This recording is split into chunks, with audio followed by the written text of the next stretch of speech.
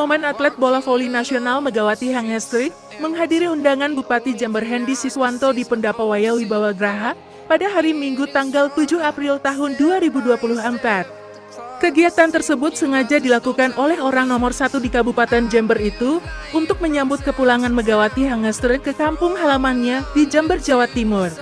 Atlet berusia 24 tahun itu kembali ke tanah air setelah menyelesaikan pertandingan bersama klub bola voli Korea Selatan Daejeon Kwanjang Red Spar. Megawati Hangestri bersama ibunda tercintanya tiba di Pendapawaya Wibawa Graha Jember sekitar pukul 9 waktu Indonesia bagian Barat. Setibanya di lokasi, atlet berusia 24 tahun ini langsung disambut hangat oleh orang nomor satu di daerahnya tersebut. Setelah itu baru kemudian, Bupati Hendi mempersilahkan Megawati bersama anggota keluarganya untuk duduk bersama di ruang tamu pendapat.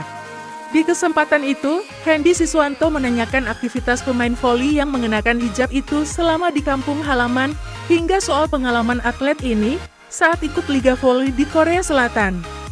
Sama seperti tahun sebelumnya, Bupati Hendi juga memberikan cendera mata yang berlogo Pemkap Jember kepada atlet kelahiran tahun 1999 ini sebagai bentuk penghargaan atas prestasinya.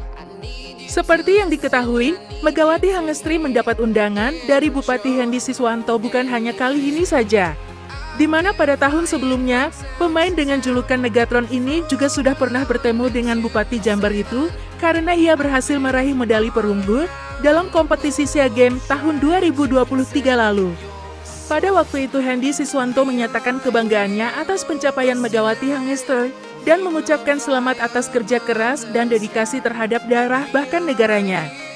Selain memberikan apresiasi, orang nomor satu di Jember itu juga memberikan penghargaan berupa motor dan uang tunai kepada Megawati Hangestri sebagai bentuk pengakuan atas prestasi yang diraihnya tersebut.